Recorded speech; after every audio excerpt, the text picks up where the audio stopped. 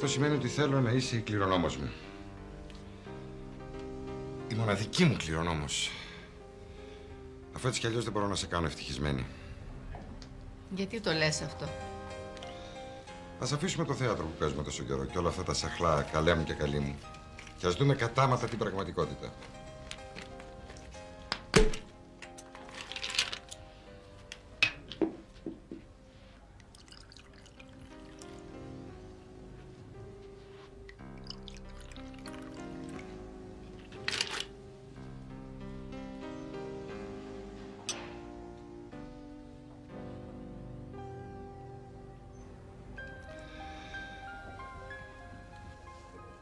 Ξέρω πολύ καλά την αδυναμία που έχεις στο γιο σου.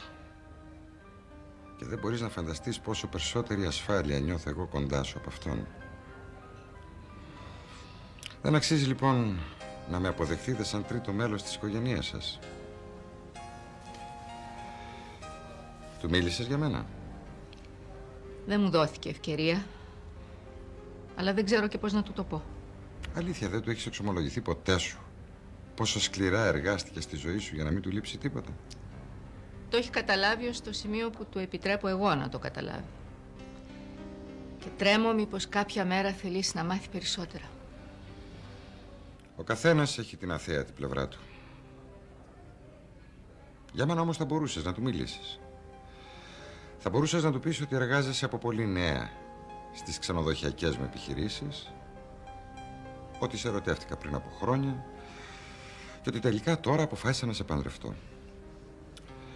Θες από υποχρέωση, θες από τύψεις, ό,τι θέλεις πες του, αρκεί να του παρουσιάσεις την απόφασή μου σαν κάτι εξαιρετικά σοβαρό.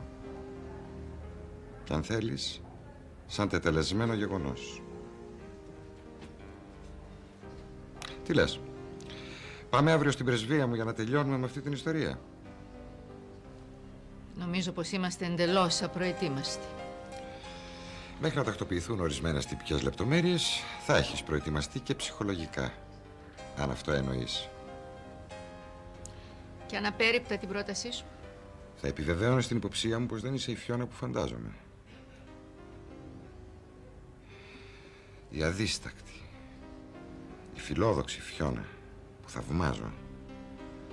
Αλλά κάποια άλλη που τώρα πια θα πρέπει να ψάξω και να βρω τον πραγματικό λόγο που με πλησίασε.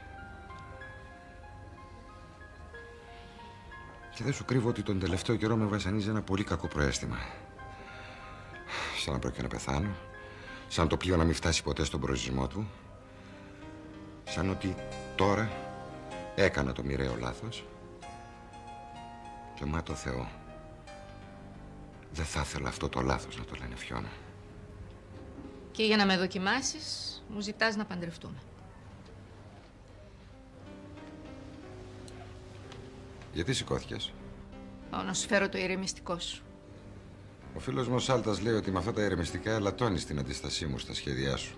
Ποια σχέδιά μου; Εσύ μονάχα ξέρεις.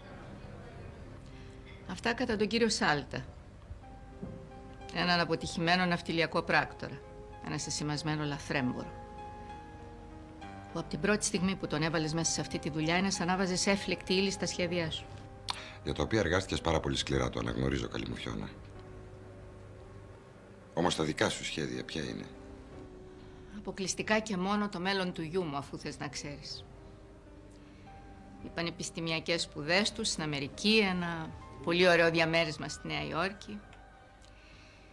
Και η ελπίδα πως δεν θα μάθει ποτέ την προέλευση αυτού του χρήματος που θα τον βοηθήσει να γίνει ένας σπουδαίος άνθρωπος με ένα λαμπρό μέλλον. Ένα ηρεμιστικό είναι ό,τι μου χρειάζεται αυτή τη στιγμή. Και για μένα και για σένα. Πάω να τα φέρω.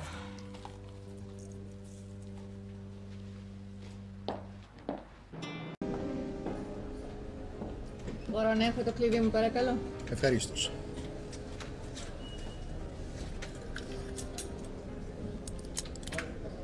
Ευχαριστώ πολύ. Δεν θα ξανακατεβείτε; Πώς; Σε λίγο θα ξανακατεύω. Ευχαριστώ. Φεύγεις; Αύριο. Ίσως το μεσημέρι. Εγώ πάντως πρέπει να είμαι έτοιμος. Η κατάσχεση θα γίνει στο Σουέζ. Που σημαίνει πως τέλειωσε και η δικιά μου αποστολή. Τα εισιτήριά σου, το δικό σου και του γιού σου για Νέα Υόρκη. Όπου θα εισπράξει και την αμοιβή σου και ό,τι άλλο χρειαστείς. Έχω εντολή από την υπηρεσία μου να σε διαβεβαιώσω ότι είμαστε στη διάθεσή σου. Εξυπακούεται βέβαια ότι αν βρεθείς ποτέ στο Μιλάνο, θα χαρώ να μου τηλεφωνήσεις.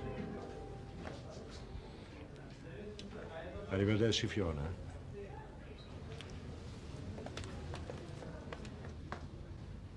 Καλή τύχη, Τζάκομ.